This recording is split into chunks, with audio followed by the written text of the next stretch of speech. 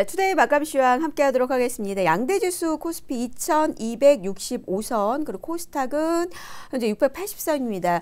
어, 코스닥의 지금 가장 큰 특징은 뭐냐면요. 지금 하나, 둘씩 상한가 들어가는 종목들을 자세히 보시면은, 그리고 거래소 쪽에서도 보시면은, 아, 백신 쪽이나 이제 뭐라 그럴까요?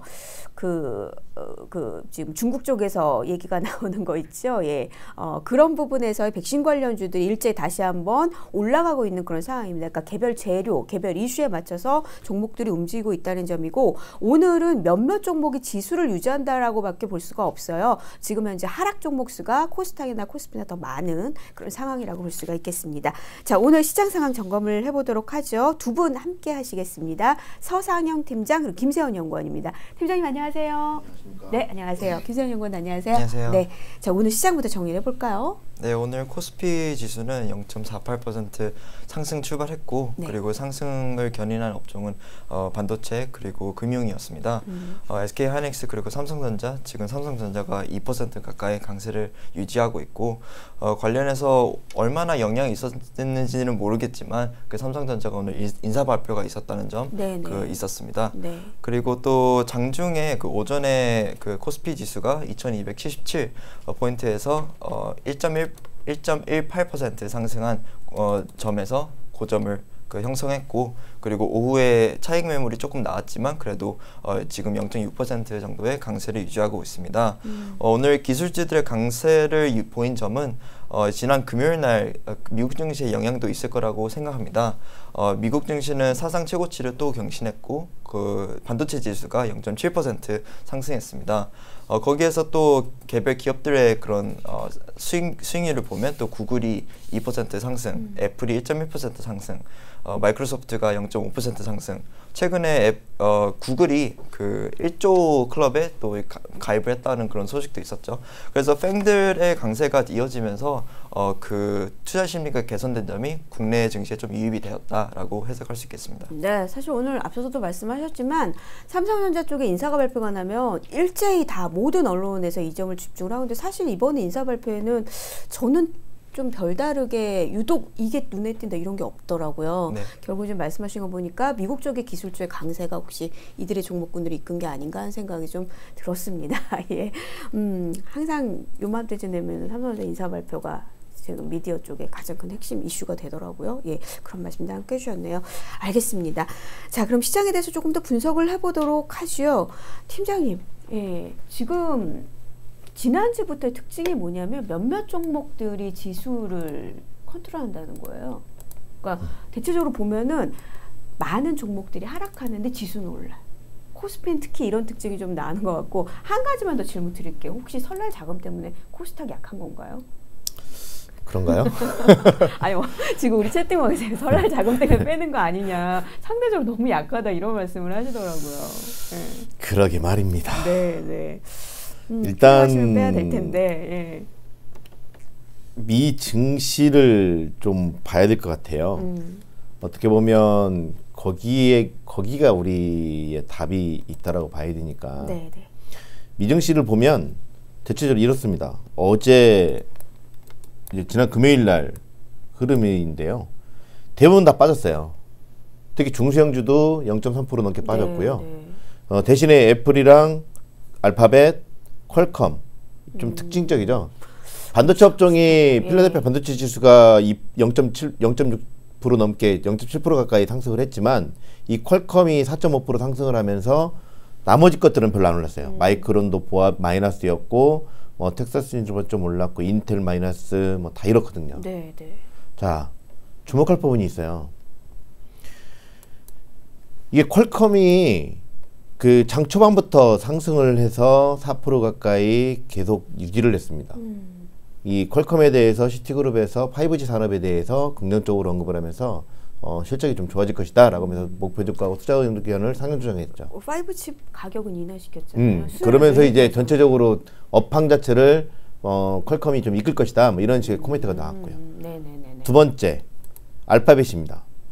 음. 알파벳을 보면 장 초반에 상승 출발합니다. 왜 상승 출발하냐면 이쪽이 이제 일부 투자 아니, 목표 주가를 상향 조정돼 있어요. 네. UBS가 네. 그러니까 어, 실적이 좀 좋을 것이다 이런 코멘트가 나오면서 상승 출발했는데 별로 그냥 강보합권에서 왔다 갔다 했어요. 그러니까 그러다가 다음에 더 못 올랐다는 말씀이시죠? 어 그러다가 예. 장마감한 한 시간 남겨놓고 음. 갑자기 치고 올려요. 음. 애플도 보면 아침에 뭐 모고스텐이나 이런 쪽에서 그 아이폰 판매 주기가 좀 빨라질 것이다라는 코멘트가 나오면서 목표주가 상향 조정했는데 노무라도 목표주가 상향 조정하긴 아, 했어요. 근데 네. 노무라의 그 흐름은 좀 약간 달라요. 그러니까 목표 주가를 상향 조정했지만 이게 318달러잖아요. 네, 네, 네. 근데 280달러 정도밖에. 그러니까 뭐냐면 5G 산업에 대해서 그 폰에 대해서 이 뭐 여러 가지 음. 문제가 좀 있기 때문에 수요에 대해서 어떻게 보느냐에 대해서 애플을 보는 시각이. 다르더라고요. 그렇죠. 이제 네. 그러면서 문제는 제가 얘기하고 싶은 거는 네. 이 보합권에서 등락을 보이다가 장 막판에 올라갑니다. 음. 그러니까 음. 요즘 미 증시의 특징을 보면 모든 종목들이 다 올라가는 게 아니에요. 지수는 올라가고는 있는데 일부 대형 종목들 위주로 강세를 좀 보입니다. 그것도 장 막판에 인위적인 상승 을 음. 보이고 있는 게 특징이에요. 자 그러면 근데 이제 그러, 그렇게 되는데 과거 그 목요일 날이나 지난 수요일 날에 이런 때 보면 이런 호재성 재료가 나오면 보통 장 초반부터 튀어서 시작해서 횡보하거나 매물 나오면 빠지거나 이런 식이었거든요. 네네. 네. 근데 그 지난주 금요일 날은 호재성 재료가 나온 일부 종목들은 강세를 좀 보인 반면에 음. 악재성 재료가 나온 종목들은 큰 폭의 하락을 했고요. 그 네대비라든지 뭐 휴대백화점 이런 것들은 많이 빠졌고 호재성 재료가 나왔던 종목들조차도 장중에는 별로 안 움직였다는 거죠. 그러니까 그동안 위험자산 선호 심리가 높아진 데 따른 그 위험 그 호재성 재료에 상당히 민감하게 반응을 보여왔었던 미증시가 바뀌기 시작하는 거죠. 그래서 이제 왜 이런 식이냐면 미국의 12개월 forward PER이 18.6배. 음. 18.6배라는 뜻은 과거에 그 법인세 인하했을 때 그때 당시 수준보다 더 높아요. 음. 지금 굉장히 밸류가 높네요. 그렇죠. 와, 그게 부담이라는 얘기죠. 5년 예. 평균이 16.7배에 음. 10년 평균이 14.9배인데 이걸 크게 상회하고 있는 상황이라서 이제는 서서히 미증시도 악재성 재료에 민감하게 반응을 하기 시작하고 있구나라고 음. 보시면 될 것 같고요. 음. 더 주목할 부분이 뭐냐면 미국의 실적 시즌이 시작됐죠. 보통 과거에 보면 그 뭐 한 지난 지지난 주에 2% 마이너스였거든요. YY로. 그러면 지금 현재 뭐 금융 섹터나 이런 쪽에 실적 발표가 계속 지르면서 한 10% 정도가 한 50개 종목 정도가 실적 발표를 했는데 네. 잘 나오는 모습을 좀 보이면서 이 마이너스 2%가 줄어드는 경향들을 보이는데 음.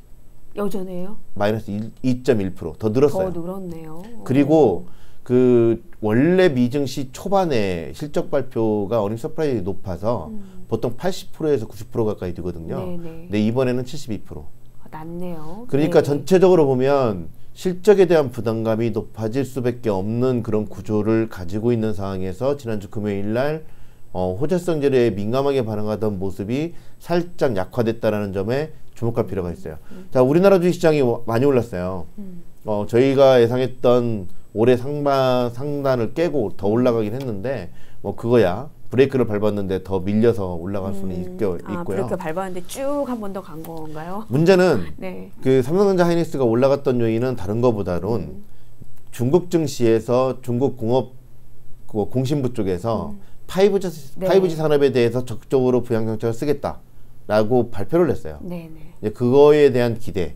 그 다음에 지금 현재 중국 증시가 하락을 하다가 상승 전환을 확 했던 요인은 이민은행의 위안화 절상이라, 음. 절상이라든지 그 은행 쪽에 유동성 공급한 거라든지 뭐 이런 요인에 의해서 올라간 거고 상승을 주도하고 있는 게 은행, 음. 보험, 금융주들, 유동성 공급, 예, 유동성 공급에 따라 예. 거기다가 애플, 테슬라, 하웨이 관련주들, 거기다 백신 음. 이런 것들이 좀 치고 올라가고 있거든요. 우리나라 주식시장도 그렇잖아요. 똑같습니다 지금. 음. 예. 즉 뭐냐면 이 시장 자체가 지금 현재 무슨 호재성 재료가 있어서 올라가기보다는 이렇게 개별 이슈에 의해서 올라가고 있는데 우리나라 주식시장은 그러한 종목들이 대부분 다 대형주이기 때문에 지수가 좀 더 올라가고 있는 거고 대신에 그 거기다가 또 하나 중국 어, 외국인의 선, 순매수가 갑자기 확 늘었잖아요. 네네. 그러면서 그 기관의 프로그램 매수가 매도를 하다가 매수로 전환을 하면서 매수세가 딱 전환하면서 대형주 위주의 매수세가 좀 유입된 네. 거죠. 아우 저 기관에 매수 들어오는 거 정말 오랜만에 보는 음. 것 같아요. 그거 이제 네. 외국인의 순매수가 그러게요. 네, 네. 선물 순매수에 따른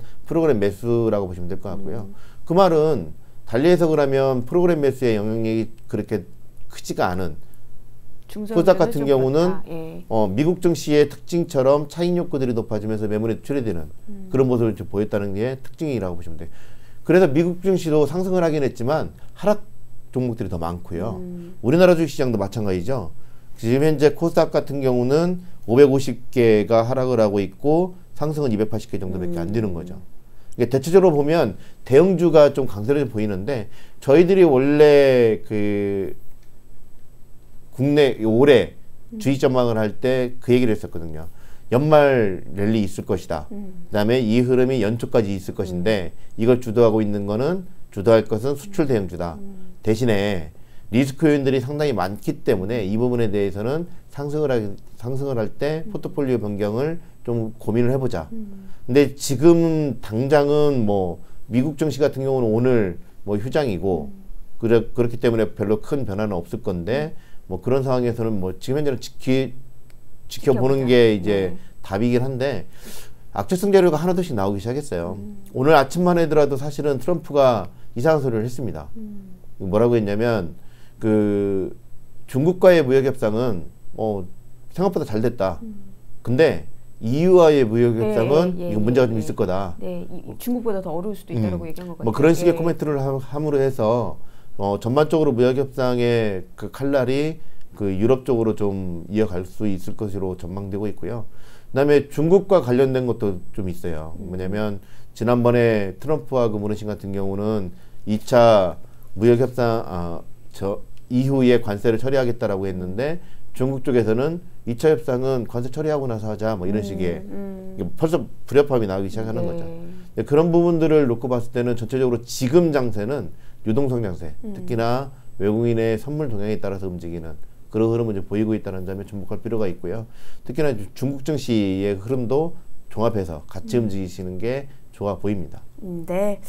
알겠습니다. 내부적인 힘보다는 그러니까 수급적인 힘은 힘인데 이제 내부적인 힘보다는 뭐 미국이나 중국 쪽의 흐름에 좀 영향을 받는 흐름이 계속 지금 우리 증시는 진행이 되고 있군요. 자, 장이 마감이 됐고요. 잠시 후에 그 마감 결과 살펴드리도록 하겠습니다.